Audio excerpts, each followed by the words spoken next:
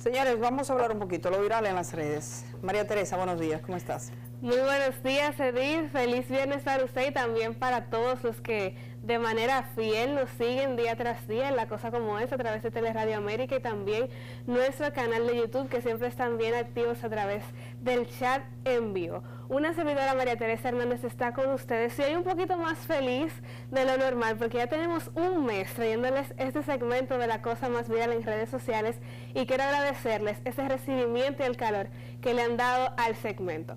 Yo les soy sincera por entrar en materia de que no pensé que esta semana surgieran tantos temas que se hicieran virales, así que yo no voy a darles una introducción y voy a pasar directamente a mostrarles qué ha sido la cosa más viral en redes sociales de esta semana. Esta semana el tema de la basura en Santo Domingo Este dio de qué hablar en las redes sociales cuando el alcalde les pide a sus habitantes producir menos basura. Pero, por otro lado, el caso del aumento del sueldo mínimo también tuvo incidencia en las redes a través de caricaturas que dejaron ver un poco de la realidad detrás de esta decisión. También se hizo viral y causó mucha polémica en redes el video de una chica que se sentía decepcionada porque en el país le negaron un empleo por tener tatuajes y pelo rizo. Muchos estuvieron a favor y en contra, como también se crearon debates al respecto a través de distintas redes sociales.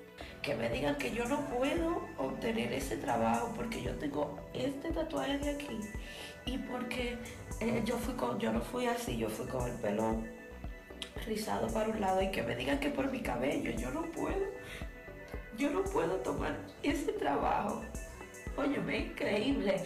En esta semana también causó revuelo el precio de una yagua de hoja de coco que se puede conseguir aquí en cualquier sitio. La foto circuló por varios días en redes sociales y salieron frases como que de cualquier yagua vieja salen 3 mil pesos. Y bueno, hubo muchos temas que se hicieron virales en esta semana, como lo es también el video del sacerdote en la iglesia de las Mercedes, que como diría Edith, sacaliñó a los funcionarios del gobierno por no aportar a la iglesia y además se quejaba de que esos 10 mil pesitos que le dieron no servían para mucho. Toda la misa del PRD y del PRM aquí era que se hacía. Ahora nadie aparece para la iglesia de las Mercedes. ¿Usted se imagina que en el mes de septiembre se le mandó una carta al Ministerio de Obras Públicas para que ayudara. ¿Y sabe cuánto mandaron ellos? 10 mil pesitos. Gracias a Dios que yo no era el rector porque se lo había devuelto. Por otra parte, las reinas del Caribe probaron las famosas camas de cartón en las Olimpiadas de Tokio, dejando ver que son bastante resistentes. Suerte a ellas y a todos los que nos representan en estas Olimpiadas. Finalmente se hizo viral el video de un agente de la DGCET que bailaba en la calle salsa mientras realizaba su trabajo y daba paso a los carros. Un buen ejemplo para iniciar con energía y de manera positiva el fin de semana.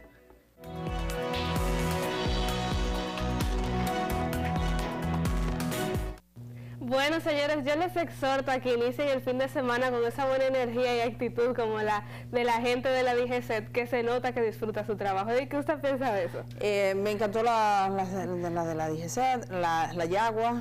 De cualquier Yagua había, salen 3 mil pesos, ¿verdad? Está muy serio. Lo del sacerdote merece una mención aparte, porque eh, ese sacerdote dando una misa en la iglesia de las Mercedes, probablemente no pensó que lo estaban grabando, que esa es una de las situaciones que tenemos en esta época. A veces hablas en pequeños grupos y estás dirigiendo un mensaje que dicho públicamente puede ser muy antipático y poco comprendido. Yo quiero pensar que él no, no estaba pensando en eso, no estaba analizando.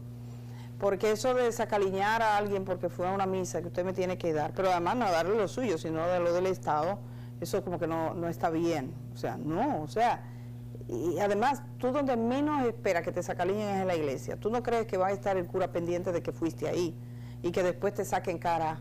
Porque tú no te acuerdas que tú venías aquí cuando tú eras un rullío y ahora porque tú tienes y no me das. Eso, a fin de cuentas, eso es lo que está apareciendo ahí. Así que queremos pensar que fue simplemente un error.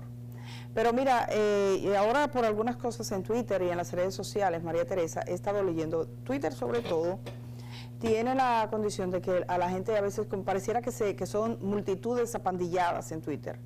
Y hay un periodista en un diario estadounidense que escribía exhortando a los periodistas a que salieran de Twitter o al menos que tuitearan menos o al menos que Twitter no fuera lo que pautara las investigaciones que hacen en los programas. Porque a veces tú te encuentras con una tendencia y es una tendencia falsa. Así que esas tendencias manipuladas o la gente que también sale a pasear en Twitter cualquier tipo de, de sentimiento que no es que no de justicia, pues eso debemos evitarlo. María Teresa, gracias por estar esta mañana.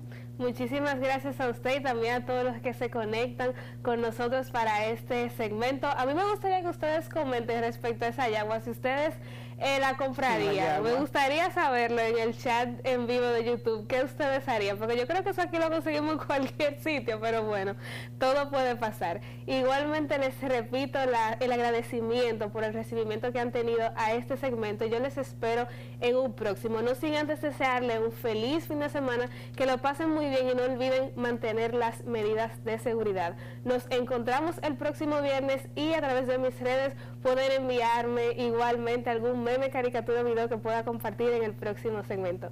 Yo me despido y Edith, paso con usted. Efectivamente, yo con el director, ¿verdad? Tengo que irme con él un momento, otra vez más, y estoy regresando.